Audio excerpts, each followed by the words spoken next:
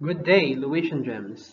This week's lesson focuses on evolution and how changes over the course of time have brought about the emergence and diversification of the species. For this lecture, I am Mr. Nestor Jr. C. Manilin, your lecturer.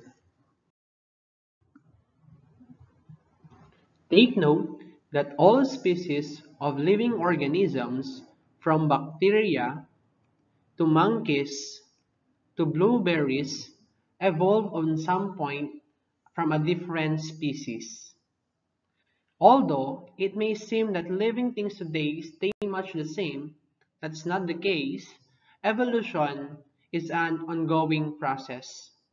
The theory of evolution is a unifying theory of biology, meaning it is the framework within which biologists ask questions about the living world. The Earth is about 4.5 billion years old. For these long years of rapid changes, what do you think are the reflections of history in this present time? The planet we call our home has undergone a series of geological and biological challenges that have changed not only its landscape, but also its inhabitants. By studying Earth's geological timeline, we will be able to trace the process by which fossils and living organisms have evolved since the time that life appeared and until the present day.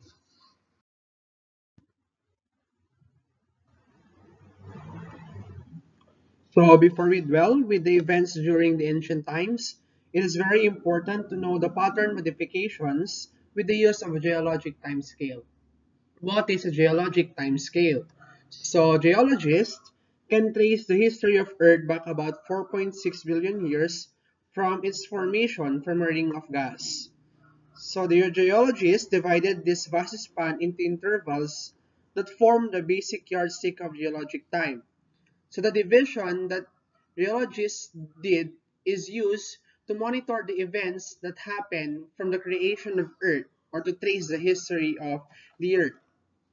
So succeeding generations have changed the names of some and calibrated them in years to produce a geologic time scale.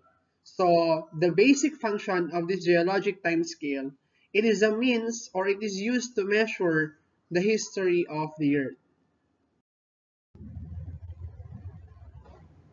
Let's start with the largest interval unit into which geologic time is divided, which is the eons. So eons, there are four geologic eons.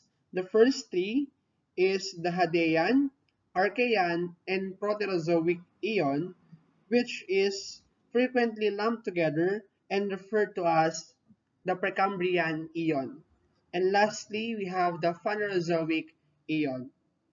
In this chart, chart you can see that uh, in the events, Proterozoic eon has the greatest number or the greatest span of time and the list is in the Phanerozoic eon. Uh, let's start first with the earliest known eon which is the Hadean eon. So it is the oldest interval in time and is dated from 4,600 million years ago to 3,900 million years ago. So no rock record dating from the Hadean Eon is known. So there are no uh, records on rock in this eon and except for the 3.96 billion year old rock which is found in Canada's Northwest Territories. Although uh, rocks on other planets in the solar system were possibly deposited during deposited during the Hadean Eon, uh, earliest life forms are found in rocks dating from the Archean Eon. So in this Hadean Eon, uh, there is a possibility or a no, there are no possibilities that uh, there is already formation of rocks. So we move on to the next Eon. We mentioned a while back that earliest known life forms are found in rocks dating from the Archean Eon. So oldest rocks known on Earth were deposited during this eon. And the Archean eon is also referred to as the Archaeozoic eon. So that is another term for the Archean eon. Sedimentary rocks deposited in the oceans during the Archean eon contain microscopic life forms. So from here, we can already say that uh, the earliest life form is evident in this eon. So these organisms were among the only living things on Earth for over 1 billion years. And last, under the Precambrian eon, we have the Proterozoic eon. So rocks deposited during the Proterozoic eon include evidence of multi-celled organism. Remember that in the Archean eon, it is a microscopic life form that have bacterial characteristic for Archean. But in Proterozoic eon, there's already an evidence of multi-celled organism. So, the stromatolites remain common in the shallow water of Proterozoic eon. However, many other living things were present such as archaea that live in extreme habitats where the water was very hot and extremely salty. So that is for the Proterozoic eon. And we have the Phanerozoic eon. So it began for from 540 million years ago and continues into the present. So that is our current eon. The rocks deposited during the Phanerozoic eon contain evidence of fossilized hard body parts of modern living things. To sum it up, under eons, take note that in the Hadean eon, it is known to be the oldest interval of time. Under Archean eon, there is already an evidence of microscopic life forms that have bacterial characteristics. Under Proterozoic eon, evidence of multi-celled organism. And lastly, in the Phanerozoic eon, it contains evidence of fossilized hard body parts. We move on to era. Eras are the next largest interval unit. Eras encompass major intervals of time and are defined based on the fossil life forms found in the rock layers and the law of superposition. So the Hadean, Archean, and Proterozoic eons do not have recognized eras. So only the Paleozoic era, Mesozoic era, and the Cenozoic era is under it. So Cenozoic is known to be the new life, Mesozoic to be the middle life, and Paleozoic known as the old life. So this era is under only the Phanerozoic eon.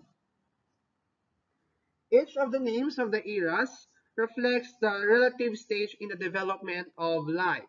So, as you can see, Paleozoic old, Mesozoic middle, Cenozoic new life. Let's start on the first era, which is the Paleozoic era. The Paleozoic era, also known as the Old Life, is the oldest of the three eras. And during the Paleozoic era, multi-celled living things acquired hard body parts, bones, vertebral columns, mandibles, and teeth is already present. Common in the Paleozoic era were trilobites, crinoids, brachiopods, fish, insect, amphibians, and early reptile. So as you can see in the image, these are the significant events that happened in the Paleozoic era. Second is the Mesozoic era.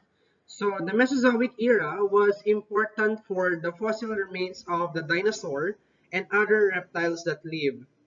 However, the Mesozoic era landscape was also occupied by mostly insects, early mammals, plants such as conifers and ferns, fish, and finally flowering plants and early birds.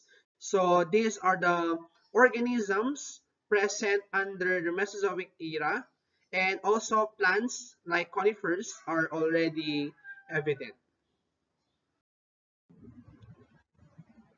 Lastly, under eras, we have the Cenozoic era. So the Cenozoic era is the age or the extinction of the dinosaurs and continues into the present. So the extinction of the dinosaurs at the end of the Mesozoic era opened up vast new habitats and environments for early mammals and birds to adapt to and occupy. So when the dinosaurs become extinct already, so other organisms and other mammals have the chance, okay, to occupy the habitat because there are no predators present already in this era. If the units under eons are called era, the units under era is called period. The geologic eras are large interval units of time that encompasses smaller intervals of time called periods. So each of the three eras of the Phanerozoic Eon are comprised of several periods and subject to the law of superposition and law of faunal succession. So each of the different eras, la, the Paleozoic, the Mesozoic, and the Cenozoic contains their own periods. So let's start first with the Paleozoic era. So in the Paleozoic era, we have seven periods. We have the Cambrian, Ordovician, Silurian, Devonian, Mississippian, Pennsylvanian, and Permian. So what are the different or significant events that occurred in each of the specific periods? Let's start with the first period under the Paleozoic era. We have the Cambrian period. Life forms in the Cambrian period were sponges, segmented worm, trilobites, and brachiopods. Under the Cambrian period, most of the major groups of animals first appear in the fossil record. It is a time of great revolutionary innovation, with many major groups of organisms appearing within a span of only 40 years. Next is the Ordovician period. The Ordovician period extended from 490 million to 443 million years ago. So living things under the Ordovician period includes early plants, jawless fishes, bivalve mollusks, nautiliae, and gastropods. Next, we have the Silurian period. Under the Silurian period, it extended from 443 million to 417 million years ago. So living things in the Silurian period were crinoid stems, trilobites, jawless fish, brachiopods, fish with loss, freshwater fish, nautiliae, gastropods, and lastly, coral reefs. Then we also have the Devonian period. In the Devonian period, it extended from 417 million to 354 million years ago. Living things under Devonian period were ammonites, starfish, corals, crinoid stems, armored fish, sharks, early bony fish, and lastly, early amphibians. So these are different living organisms under the Devonian period. Then we have also the Mississippian period. The Mississippian period extended from 354 million to 323 million years ago. Living things in the Mississippian period were snails. We also have amphibians, tree ferns, shark. We also have freshwater clams and in the Mississippian period, trilobites are becoming rare and the armored fish became extinct in this period. We have also the Pennsylvanian period. Under Pennsylvanian period, it extended from 323 million to 290 million years ago. Living things under the Pennsylvanian period include spiders, cyads, early reptiles, amphibians, flying insects, and cockroaches.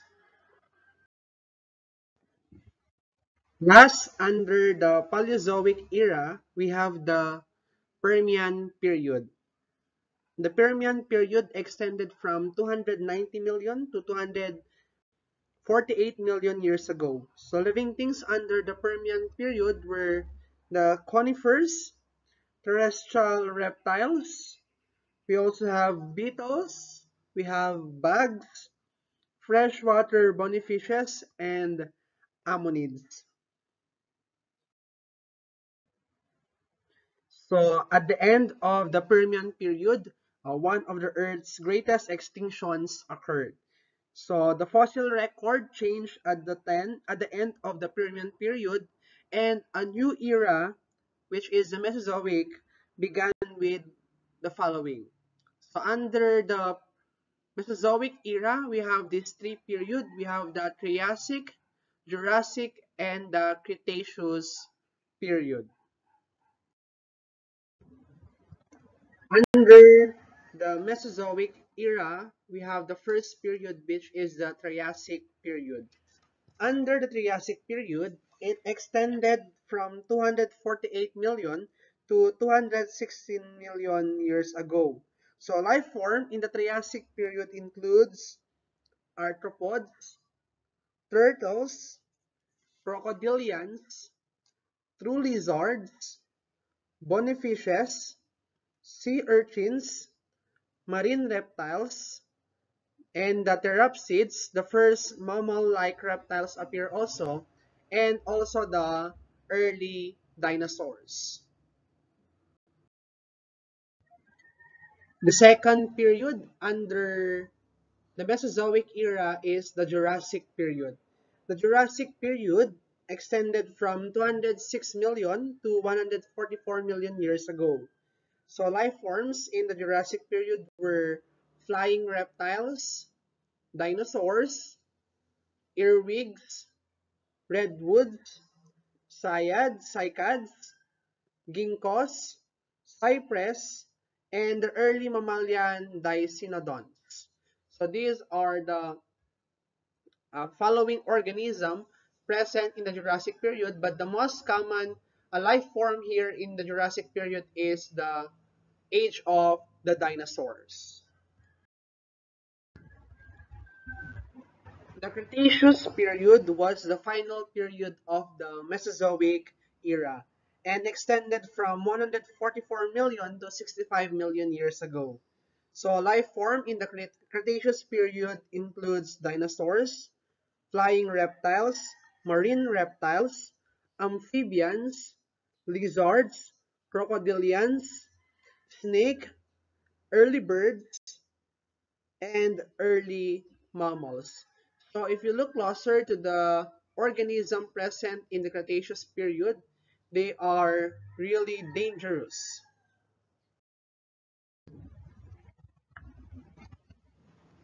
The Cenozoic era is composed of two periods. We have tertiary and quaternary period. Under tertiary, we have Neogene period and Paleogene period.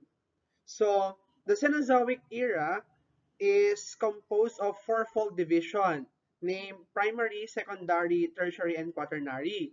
But only the tertiary and quaternary intervals of time are utilized in the modern geologic timescale. So